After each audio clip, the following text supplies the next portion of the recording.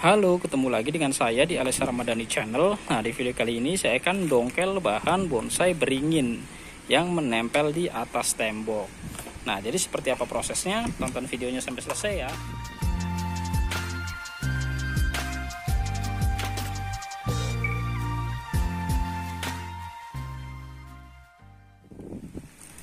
Nah, jadi sebelum kita dongkel ya, kita lihat dulu posisi tumbuhnya. Nah, jadi untuk posisi tumbuh sendiri ya, ini menempel di atas tembok seperti ini. Nah, bisa teman-teman perhatikan ya di sini tidak ada tanah ya. Ini semen dan ini di antara cepitan. Nah, ini sudah jebol seperti ini. Nah, untuk beringinnya sendiri ini batangnya ya. Dan yang ini ini bukan batang beringin, melainkan pohon lain. Dan yang ini ini sepertinya bundut ya. Karena kurang subur daunnya memanjang seperti loa.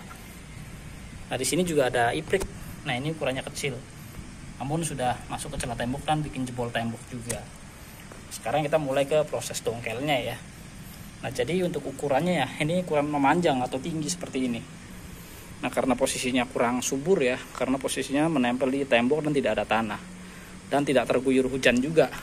Nah ini ada atap di atasnya. Nah jadi mengandalkan air dari cipratan saja dia posisi hidupnya ya.